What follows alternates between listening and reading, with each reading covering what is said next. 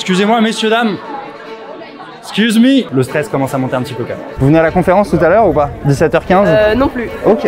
Mais Bon, non, après- non. C'est un non, c'est un non non négociable. hein. On voit pas l'odeur, mais il y a quand même une odeur assez sympa dans le local. Je sais pas pourquoi, j'avais peur du foirage et en fait ça s'est hyper bien passé donc euh, voilà. On a passé l'entretien, le mec je lui ai dit qu'il qu'il était nul à chier.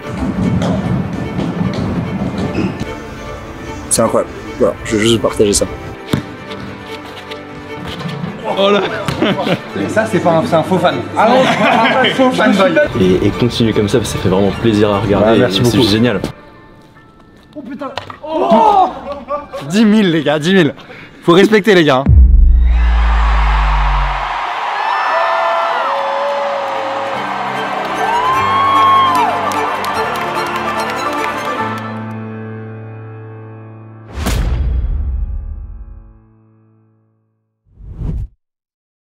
Tout a commencé en février 2022, quand j'ai décidé de quitter mon poste de vice-président chez Goldman Sachs pour me lancer dans la Creator Economy. Alors deux précisions sont nécessaires à ce stade. Vice-président, c'est un titre un peu pompeux dans les banques américaines qui veut juste dire que tu as minimum 6 ans d'ancienneté. Et la Creator Economy, c'est cette économie de plateformes que vous connaissez tous comme TikTok, Instagram ou même LinkedIn, et qui, pour certains investisseurs de la Silicon Valley, est une révolution technologique et économique. Comme ces investisseurs, je suis persuadé que la Creator Economy va bouleverser notre futur sur plein d'aspects. Et comme j'ai la chance d'avoir un peu d'argent de côté, je décide de prendre des risques et de devenir moi-même créateur de contenu sur League of Legends. Car le jeu représente pour moi un énorme challenge intellectuel. Je veux prouver qu'un papy comme moi à 31 ans, sans aucune aptitude particulière, peut devenir master, soit le top 0,5% sur 125 millions de joueurs dans le monde. Car je suis convaincu que c'est un jeu de réflexion et non de réflexe. Pendant 10 mois, il se passe rien et je suis stuck avec 7 viewers dont un viewer imaginaire qui est l'ordi portable de mon coloc que j'ai laissé allumer dans la pièce à côté. La raison de cet échec est que j'essaie de faire plusieurs choses à la fois. Animer mes streams, développer mes réseaux et atteindre le top niveau dans la discipline la plus compétitive du monde, toutes catégories confondues. En décembre 2022, je rencontre Kazewa, une vieille légende de l'e-sport français, qui a dû subitement arrêter sa carrière à 23 ans car il avait de l'arthrose à la main. Il s'est reconverti en vendant des formations, mais tout Twitter se fout de sa gueule, en lui disant que les jeux vidéo, c'est que du talent et qu'on ne peut pas progresser significativement. On a donc un objectif commun. Prouver qu'avec du tryhard et un bon coaching, n'importe qui peut arriver au top niveau. Pendant 3 mois, j'arrête tout le reste et je m'entraîne 12 heures par jour, 6 jours sur 7. En avril 2023, je deviens master et cette étincelle va faire que tout va s'accélérer. Les étudiants commencent à s'intéresser à mon histoire et je reçois beaucoup de questions sur mon ancienne vie chez Goldman Sachs. Je comprends alors que mon rôle dans la Creator Economy va être de démystifier le monde de l'entreprise pour les étudiants et de désacraliser certains métiers qui en réalité sont accessibles à tous. J'envoie alors un simple tweet proposant de venir à la rencontre des étudiants dans toutes les écoles de France qui seraient intéressés. Et là, encore une fois, la magie de la Creator Economy s'opère.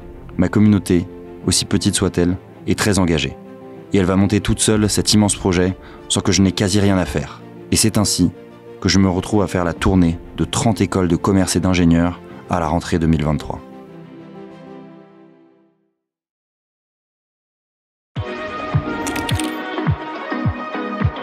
Les gars, c'est parti. Première étape du roadshow, HEC. Je suis un petit peu stressé, je vais pas vous mentir, mais hyper content d'être là. C'est la première fois que je rencontre un peu la commu et s'il y en a, je sais pas aussi, ça se trouve, il y a, a Sainte-Perle qui me connaît et tout, ça peut être assez gaulerie aussi, je vais me faire détendre. Donc aujourd'hui, euh, le programme, on va à l'amphi Blondo là, qui est juste derrière moi. Alors pour la petite histoire, euh, je suis la dernière personne à avoir fait une conférence dans cet amphi, parce qu'il a brûlé euh, quelques jours après. Voilà. Je, je suis pas responsable. 350 personnes, c'est le plus gros amphi d'HEC. Euh, c'est monté par l'assaut euh, Gaming Level Up et l'assaut Finance. Euh, voilà, une heure et demie de conf et je vais avoir des questions un peu du coup côté finance et côté gaming. Allez, let's go les gars, on y va.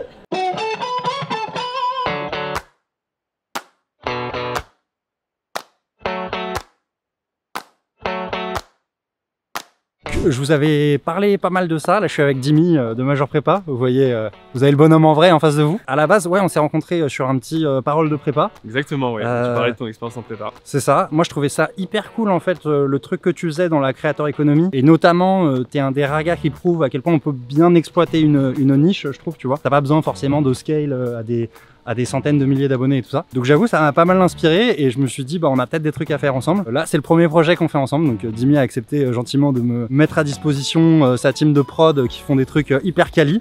qui sont là en, en face de moi. Hyper content de faire ce truc-là avec toi en tout cas, Jimmy. Bah écoute, euh, ouais, hein, c'est un grand plaisir et c'est vrai que ça nous change aussi de, aux histoires de prépa et d'étudiants et voilà, de, de sortir un petit peu aussi de, de ça. Bon, enfin après on est toujours à HEC donc ça nous change pas. Ouais, ouais, c'est ça, ça. Mais grave cool et ouais, surtout je pense que ce sera le début de pas mal de projets, enfin j'espère en tout cas. Mais c'est vrai que cette première vidéo euh, hors de ta chambre, euh, bah voilà, je, je pense que c'est quand même une vraie étape pour toi donc c'est grave cool de C'est vrai que c'est la première vidéo hors de ma chambre, première vidéo où je taffe mon épaule Voilà. droite comme Cette ça. personne peut sortir de ses, de ses 9 mètres carrés, c'est Ouais. possible. Ouais, bon allez, let's go, on va, on va dans le couloir des assauts là je crois.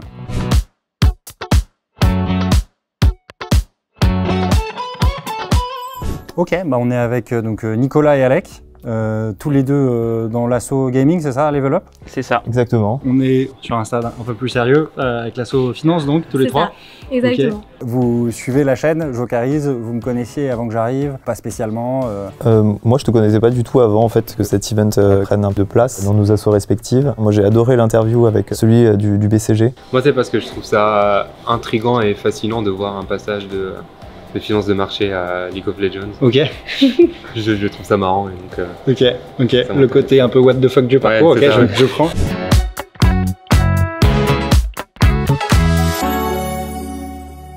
Bon là les gars on est avec Alec, euh, du Salut. coup euh, qui me fait une petite, euh, une petite masterclass de la jungle. Bien sûr. Euh, là c'est parti, là la botlane elle te lige déjà t'es content non Ouais, là, c'est un... on est sur des gens gentils, ça, c'est les, les normal blind. Les gens sont sympas. Putain, tu dis qu'on est en normal blind, je vais faire croire à tout le monde quand je Terrible. ton BO master en live là. Bien ok, sûr. Ok, ok, ok. Bon on a un petit kill euh, pour les caméras, ça c'est Voilà, cool, c'est parfait. Bon euh, les gars faut qu'on aille à la conf là quand même. Hop, ça va pouvoir Alt F4.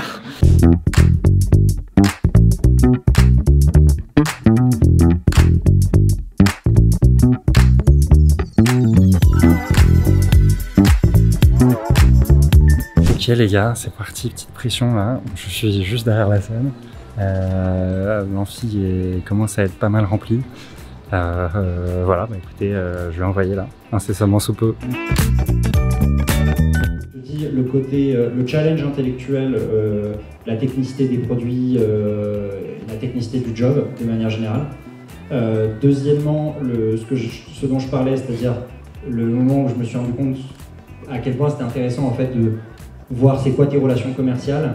Et en fait, le, le c'est le mec qui comprend tout l'écosystème euh, d'un business, tu vois. Il comprend toute la pieuvre d'un business.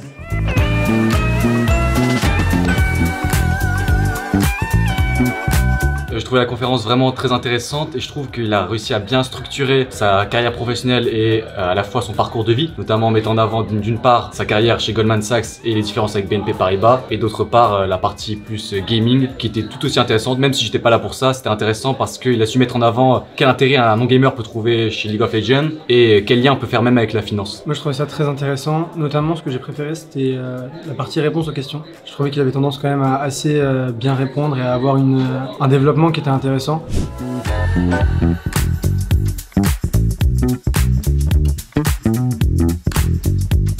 Bah les gars, c'est bon, c'était le petit, le petit conf à HEC. Je viens de sortir du truc là. Euh, J'avoue au début un petit peu, petit peu déçu parce qu'on avait pris le maxi amphi blondo et tout de 400 personnes, donc la salle faisait un peu vide.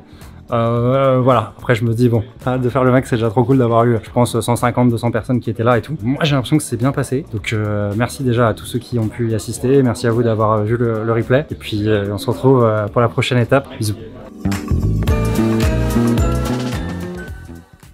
Mercredi, euh, on était à Grenoble. C'était absolument incroyable ce qui s'est passé. Genre, euh, je suis arrivé euh, mercredi à 15h et là, j'ai pas vu ma journée passer à Grenoble jusqu'à 3h du mat. On a commencé en mode euh, couloir des assos. J'ai vu plein plein d'assos. Ils me présentaient chacun leur truc et tout. C'était vraiment ouf. Malheureusement, j'avais pas de cadreur avec moi ce jour-là. J'avais pas de caméra de blog et tout. Donc, on a fait un peu avec les moyens du bord. Ils ont pris leur tel, leur truc et tout. J'espère que ça rendra bien sur la vidéo YouTube. Mais voilà, c'était fou. J'ai vu prof de finance, la directrice du programme Grande École, des tonnes d'assauts. La conf, il y avait 500 personnes, amphi plein à craquer. J'ai jamais, même en live, j'ai jamais parlé à autant de, gens. Donc, euh, petite pression et tout, mais je crois que ça s'est bien passé. Et, euh, voilà, après, ils avaient prévu un beer garden. On s'est fait des flammes cuches, des bières, tout ça. Et puis, je termine dans un after avec euh, une des assos jusqu'à 3 dumes. Donc voilà, c'était vraiment ouf. Hier, jeudi, j'étais au Schema Finance Day. Un peu pour expliquer mon business au RH surtout et puis voir un peu les étudiants. Et voilà, et aujourd'hui le M Lyon, hâte de voir ce que ça a donné. Donc euh, voilà, bah à tout de suite. hein. On arrive, euh, je crois, dans une petite, euh, petite quinzaine de minutes sur le campus. À toutes les gars. Ciao ciao. Bah écoutez, on arrive sur le campus. Putain, la est toujours aussi lourde, par contre ça, ça va pas changer. Donc petit campus de l'EM, là, on est là. Clac. J'ai cru qu'on allait se prendre la, la sauce, comme à HEC, mais en fait ça va. Je vous montre un peu la tête du campus. Moi, il faut savoir que je suis jamais venu en fait parce que je n'ai pas été admissible à l'EM Lyon. Je sais plus pourquoi, c'est une histoire de coef, c'était pas les mêmes épreuves de maths ou quoi. Et euh, donc jamais admissible à l'EM Lyon, alors que j'étais, comme je l'ai dit, premier au Calais à HEC. Donc bon, bref. Mais voilà, donc je découvre le campus.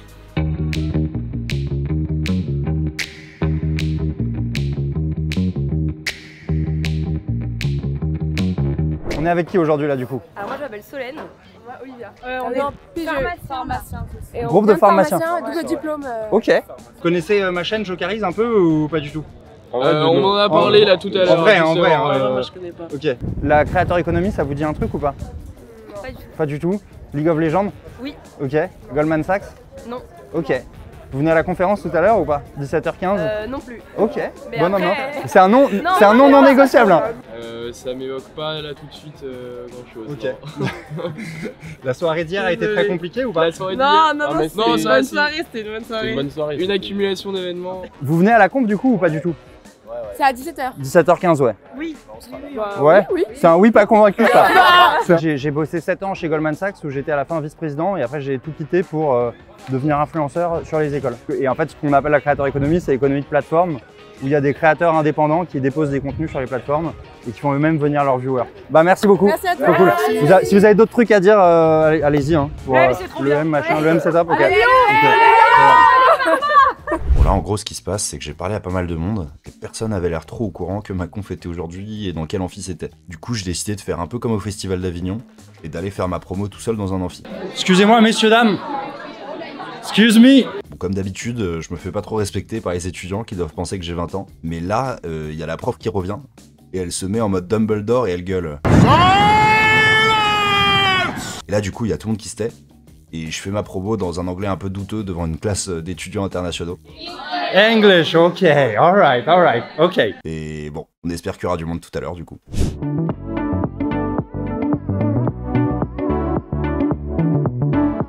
Bon bah les gars, euh, en vrai assez rassuré, là, on est pas loin, ça a commencé dans pas longtemps. Je vois qu'il y a pas mal de monde, comme, euh, comme vous pouvez le voir. Donc assez cool, j'avais un petit peu peur sur la com et tout, de me retrouver avec un amphi à moitié vide. On a forcé sur la com, on s'est incrusté dans une salle de classe et tout, vous l'avez vu. Et euh, ça a porté ses fruits, donc euh, c'est cool. J'ai été médisant, ça a très bien se passer. Quand je viens dans les écoles, là il y a deux jours j'étais à Grenoble, j'ai une grosse...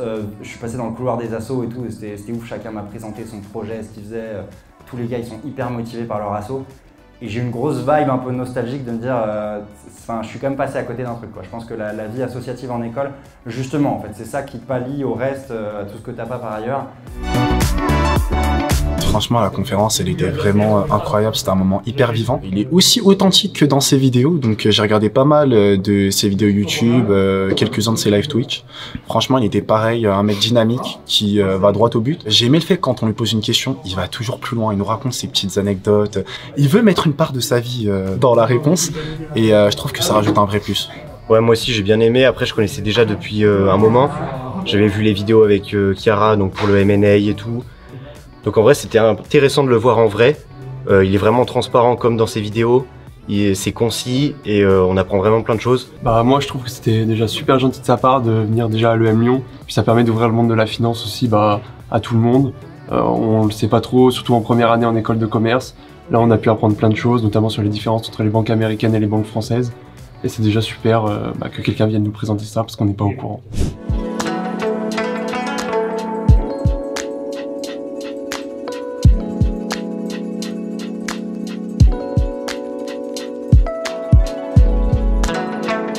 Bah les gars, euh, je viens de terminer la conf euh, à l'EM. Finalement super surprise, en fait il y avait du monde. J'avoue que j'ai un peu flippé juste avant le truc parce que je passais un peu dans les, dans les couloirs, dans les machins, les gens me disaient ah mais on savait pas que c'était aujourd'hui, on n'a pas eu la com, on n'a pas eu l'info et tout. Et en fait c'est bon. Euh, voilà, je crois que ça s'est bien passé, c'était cool. J'ai eu pas mal de j'ai eu pas mal de questions de fin de truc et tout. À la fin c'est compliqué de s'escape quoi. T'as tous les tous ceux qui veulent un peu des petites infos, essayer de passer leur CV, tout ça qui sont là. Euh, non trop cool, je suis content. Franchement, euh, et de 4 euh, sur 25. Allez let's go.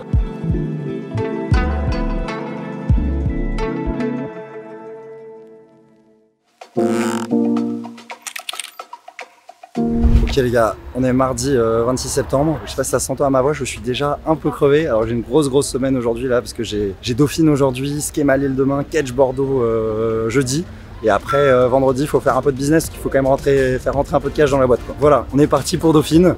J'espère que ça va être coolos. Je vois qu'on est au taquet sur l'orga, je vois qu'on a déjà Salut Marc. Monsieur Oren qui est là. On est prêt On y ok, va on y go On y va. Allez, c'est parti.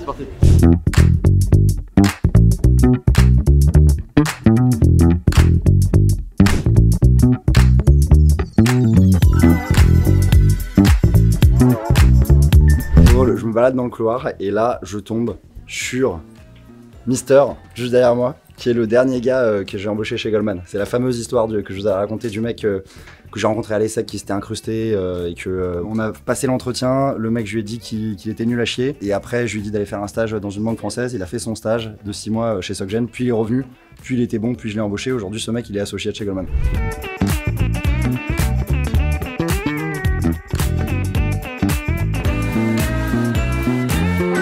Ok, bah les gars, moi, toujours un plaisir de rencontrer euh, des gens qui connaissent la chaîne et tout. Ça fait trop plaisir.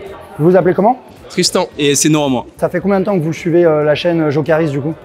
Moi, ça fait un peu moins d'un an. Et euh, moi, j'ai découvert ça euh, début d'été. Ok. Ouais, début d'été, voilà. Qu'est-ce que vous kiffez euh, dans la chaîne ou kiffez pas ou, euh, Moi, j'aime bien avoir le point de vue de quelqu'un qui a vraiment travaillé en finance. Vu qu'on n'a jamais l'occasion de voir des, des vraies interviews, des- un rapport direct avec des gens qui ont travaillé chez Goldman Sachs ou même chez la BNP. Donc, euh, c'est cool d'avoir un rapport euh, proche. Ouais, ce que j'apprécie aussi, c'est que tu es un peu le seul qui fait ce genre de contenu. On n'a personne d'autre qui, a été dans, qui a travaillé dans des salles de marché, qui explique aussi bien euh, sur YouTube. Donc euh, c'est l'authenticité qu'on a appréciée. Quoi.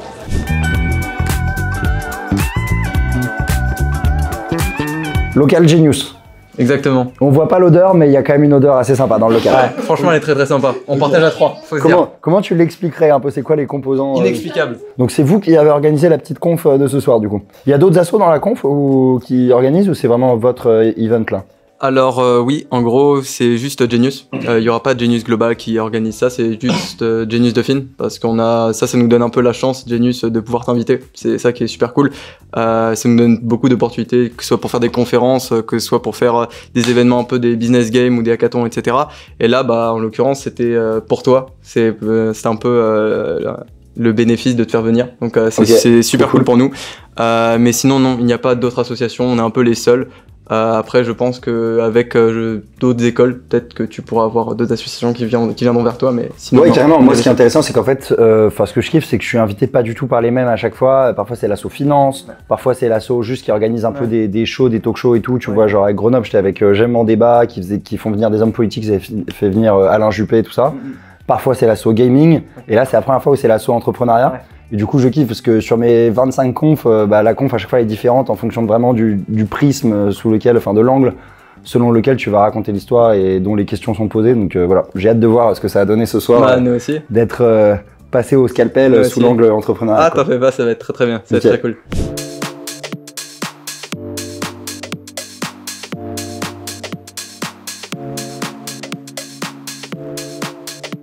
Franchement, la conférence était euh, super top.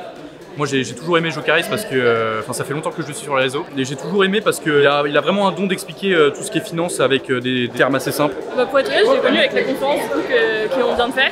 Je me suis pas mal intéressée, j'ai regardé quelques vidéos, tout ça. Euh, bon, J'avoue que le côté Twitch, il m'intéresse un petit peu moins parce que je suis plus euh, dans la finance. Mais du coup, la partie sur la finance, c'était incroyable, même en vrai sur Twitch, parce que du coup, j'ai appris des choses et, euh, et ça montre vraiment le côté entrepreneur. Il y a beau- beaucoup de, de choses que je fais dans ma vie où je me dis à chaque fois, en vrai, je peux le faire, mais euh, peut-être que je le ferai un peu plus tard, j'ai le temps. Et là, euh, la mentalité euh, tryhard d'honnêteté euh, qu'il a, ça m'a vraiment euh, chauffé, de, euh, chauffé à faire mes projets à fond. J'ai vraiment pris une claque. Je dis à tous mes potes derrière, là, j'ai vraiment pris une, pris, une vraie claque.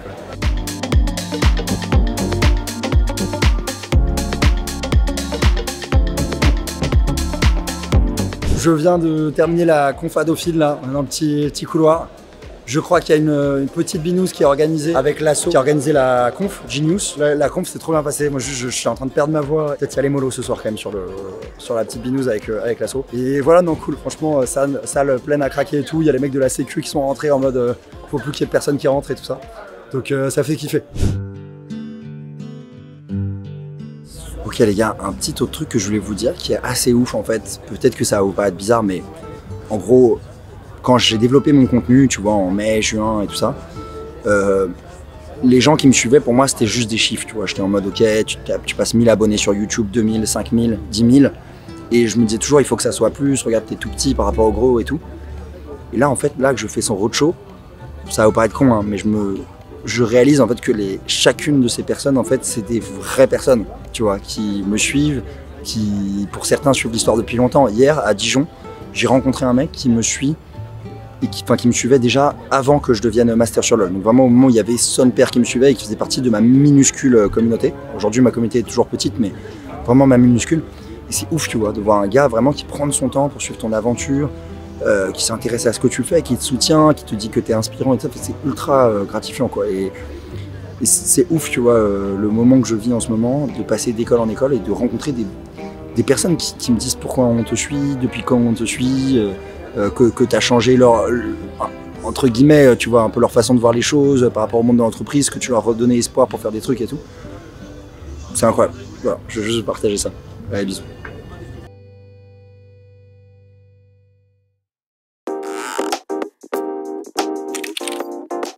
Yo les gars, euh, donc on est le mardi 3 octobre aujourd'hui. Hier j'étais sur le campus euh, de Panthéon-la-Sorbonne. C'était euh, hyper sympa, campus au plein milieu de Paris et tout, euh, c'était vraiment cool. Après on a fait une petite soirée avec les étudiants euh, très sympa dans un bar, à- dans un pub à Saint-Michel. Et là aujourd'hui mardi, on est à Centrale Paris, sur le campus de Centrale Supélec, maintenant que les deux écoles ont fusionné. Donc voilà, pour moi ça va être la première école euh, d'ingénieur. Je suis assez curieux de voir comment ça va se passer. Déjà, est-ce que, est que les gens me connaissent dans les écoles d'ingé ou moins qu'en école de commerce? Quelles vont être les questions Est-ce que je vais avoir plus de questions un peu axées euh, League of Legends, simulation de Monte Carlo, euh, trucs un peu techniques Est-ce que je vais me faire challenger? Est-ce que je vais être au niveau pour répondre aux questions? Donc voilà, petit, petit stress supplémentaire, mais let's go, on y va. Donc là, on est sur une représentation un peu euh, centralienne avec euh, à peu près 20% de meufs. Vous, vous êtes des étudiants du coup de Centrale qui servez ou vous êtes euh, ou rien à voir, vous êtes des prestataires euh, de services Non, pas du tout, on est des étudiants. Petite question, je suis obligé de la poser. Vous m'avez jamais vu. Vous savez pas ce que je fais. euh, je prends pas mal. Hein, je, je... perso aussi. L'ego, l'ego est sauvé du coup. L'ego est sauvé. Première personne à Centrale qui me connaît, elle est là. Après, oui, c'est sûr que j'ai regardé un peu plus de TikTok une fois que j'avais eu le lien avec euh, le Ok. okay. qui a été fait. L'ego est à moitié sauvé. À Mais moitié. ça reste un plaisir de te recevoir. En tout cas, Merci. au nom du forum, c'est un, plaisir. Merci beaucoup. Merci beaucoup. Euh, Je t'ai découvert en vrai euh, du coup avec euh, la conf. Alors euh, depuis trois semaines qu'on sait que ça va presque être officiel. Euh, J'ai regardé un peu les lives, etc. Est-ce qu'il y en a parmi vous qui se disent peut-être qu'ils vont faire de la finance plus tard ou pas? Avec mes cousins et mes frères et tout ça, on en parle souvent de, de- de Ok. faire des trucs de- dans la finance. euh, Et pourquoi ça t'intéresse euh Plusieurs raisons. Déjà, je pense que je peux pas nier le fait que ça peut permettre de rapporter de l'argent.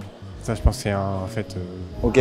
Voilà. Bien Et gagner ta que- vie. Ouais, et aussi, j'ai envie- je trouve ça. euh, j'ai envie de découvrir aussi d'autres domaines, justement, que le côté ingénieur et tout ça. Ok.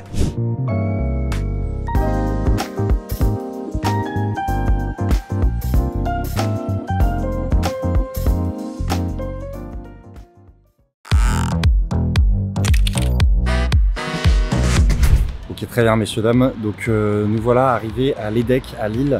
Euh, ce matin, j'étais à Nice, donc je suis un peu en mode, en mode fast life. Là, ça me rappelle un, un peu Goldman. On est jeudi 12 octobre. Et voilà, là, il y, a y les cadreurs. euh, Il y a les cadreurs juste derrière moi, là, comme ça, là. Ça, il y a toute la fine équipe. Et on va y aller. À tout de suite.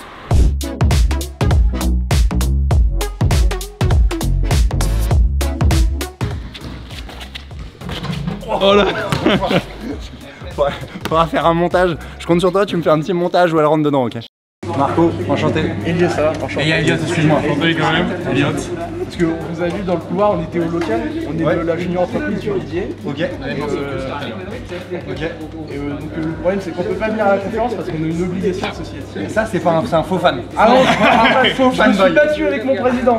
Donc là, les diplômés, ils se mettent comme ça, ils posent un peu. euh, non, quand on rentre, fin de quand on rentre dans une nouvelle asso, quand on rentre en asso, on se met là euh, sur les escaliers, comme ça, ça croise les bras. Qu'est-ce que tu kiffes dans la chaîne et tout, euh, si tu suis Euh, un peu dans la chaîne, bah, surtout parce que j'ai le côté euh, gaming aussi moi à la base. J'ai vu que bah, t'avais un casque, la webcam et tu parlais de finance. Et je suis allé sur ton compte et c'était écrit euh, Master League of Legends dans la description donc je l'ai dit mais. Tu dis what the fuck? What the fuck C'est écrit VP ex-VP Goldman Sachs, Master sur League of Legends. J'ai dit mais comment c'est possible? Essentiellement le, le TikTok, ouais. Ok. Essentiellement, euh, ça tombe souvent dans mon feed. Et Ok, euh, les lives de temps en temps, ouais. Tous les gars de ton asso qui n'ont pas venir, là, tous les mecs de la JE. C'est ça, on devait, on devait être une dizaine, les responsables, le président, mais. euh, Plus tous ceux, tous qui candidatent aussi. C'est ça, plus tous ceux qui candidatent mais qui ne pourront pas venir. donc, En fait, euh, vous boycottez ma conf. en fait. Ah non. Qu'est-ce que t'aimes dans le contenu ou n'aimes pas euh Ce qui est super, ouais, c'est vraiment la vulgarisation euh, finance. En fait, tout le monde peut comprendre. Il n'y a pas Ouais. besoin de d'avoir des notions déjà de base. Ça parle à tout le monde. Tu fais venir des intervenants parfois, je trouve ça génial. Et ton parcours, il est motivant aussi euh, d'une certaine sorte.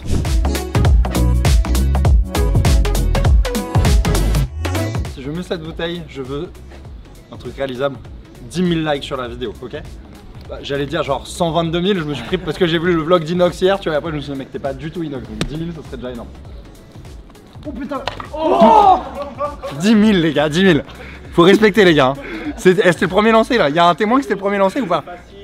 C'est le premier lancé, le bien lancé, sûr, les pour de 10 000 likes, les gars, faut, faut le mettre à un moment.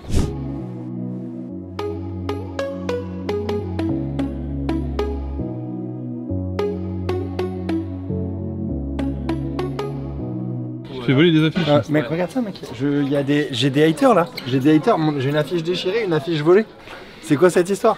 Euh, Soit c'est des haters, genre un mec qui voulait pas que ça sache, soit c'est un vrai fanboy qui a voulu garder ça euh, sous son oreiller, tu vois. Et ça.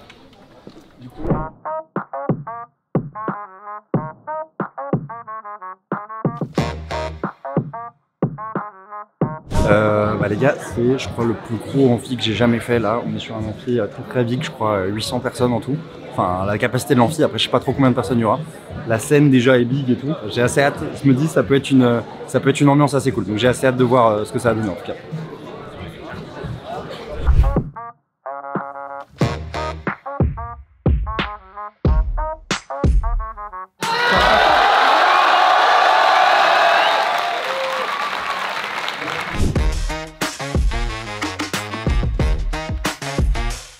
Je devais candidater chez Goldman Sachs aujourd'hui, ma première phrase serait euh, Je suis master sur League of Legends, top 0,5% des joueurs. Après, je. Non, mais neutral. Et je dirais après, ce truc-là, en fait, pour te le dire autrement, on s'en fiche de ce que moi je dirais. Pour, pour vous le dire à vous, en fait, c'est. Vous, il faut que vous trouviez quel est le truc où vous êtes très fort.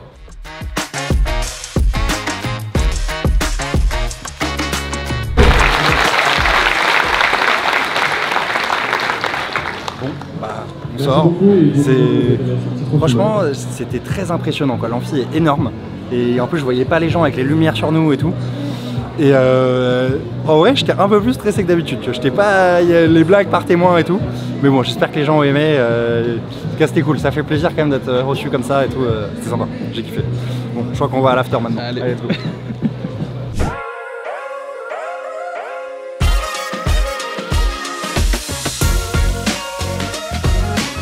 Personnellement, je le connaissais. Bah, par exemple, j'ai sub pendant deux mois. J'avais un peu des connaissances vis-à-vis de ce qu'il avait raconté, etc. Mais je trouvais ça plus intéressant, le contact. Et il y avait quelques anecdotes que je n'avais pas entendues, donc c'est super sympa. Moi, pour ma part, je le connaissais pas, mais euh, du coup, je connaissais l'entreprise euh, Goldman Sachs euh, où il avait travaillé. Une information que j'ai bien aimée, c'était le fait qu'il disait que dans son expérience, quand il allait voir des banques françaises ou quand il allait voir des clients français, des clients potentiels, bah, c'était assez compliqué de les convaincre à cause de la crise qui avait eu lieu. Et ça, je savais pas, mais c'est vrai que j'aurais pu me douter, mais c'est c'est intéressant, euh, c'était intéressant d'avoir ça. Quoi. Moi, je le connaissais euh, depuis un petit moment. J'ai eu la chance de lui parler euh, plusieurs fois sur les réseaux sociaux. Du coup, je connaissais son expérience, ses débuts donc à l'ESCP jusqu'à sa fin sur League of Legends. Mais ce que j'ai aimé le plus, c'était tous les soft skills qu'il pouvait nous apporter.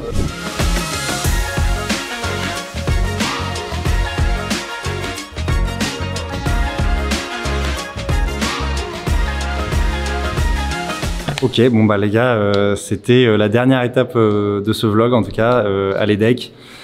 Je suis un peu lessivé, mais c'était incroyable. Là, la conf, c'était la folie. Il y avait un amphi de zinzin bien rempli.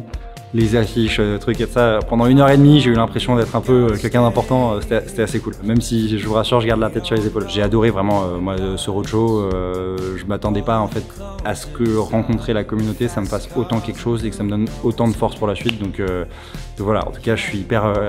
ça m'a donné de la force. Je suis hyper motivé et j'ai surtout envie de ne pas vous décevoir pour la suite et rester connecté. Il y, a des- il y a des bons trucs qui arrivent pour, pour 2024.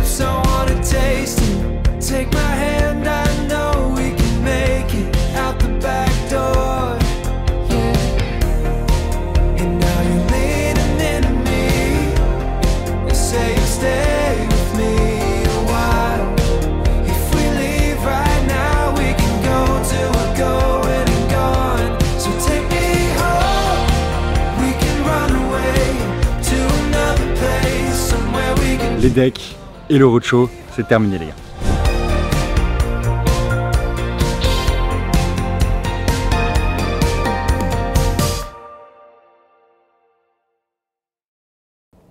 Bon, le roadshow, c'est terminé. Ouais. Mec, j'ai une idée de fou pour 2024. 10 000 les gars, 10 000